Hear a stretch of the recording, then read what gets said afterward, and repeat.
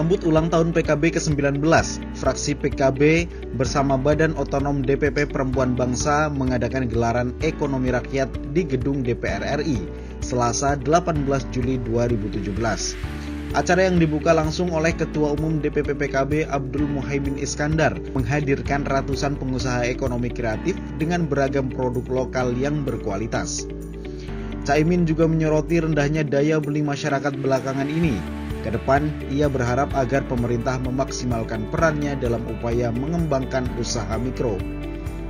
Saya berterima kasih dengan gelaran ekonomi pasar rakyat ini akan menambah peran PKB di usia yang ke-19 ini dan kita berkomitmen PKB akan tetap menjadi garda terdepan bagi ekonomi kecil dan rakyat.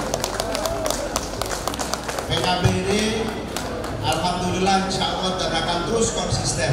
Kata Ketua Fraksi PKB akan istiqomah di jalur yang benar, tidak neko-neko, tidak macam-macam, tapi istiqomah dalam pembelaan dan dalam membackup kaum lemah dan ekonomi kecil.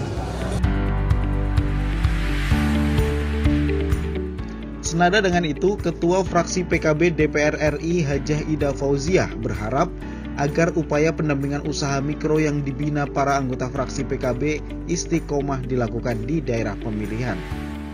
Ketua umum yang berbeda dari kegiatan-kegiatan yang diselenggarakan sebelumnya adalah kali ini kami meminta kepada seluruh anggota fraksi untuk menunjukkan hasil binaan Bapak Ibu anggota fraksi Partai Kebangkitan Bangsa.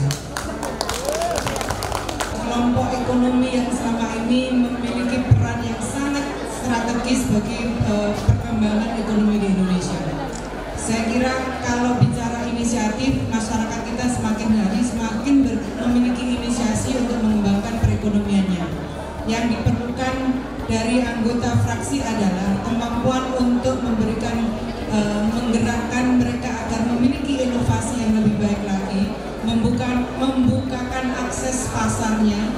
dan termasuk membukakan akses modalnya. Saya kira hal-hal itu yang sekarang dibutuhkan oleh masyarakat kita. Kalau tiga hal tadi di antaranya dilakukan oleh fraksi Partai Kebangkitan Bangsa, kita yakin bahwa perekonomian yang masuk kategori UMKM itu akan berkembang dengan sangat luar biasa.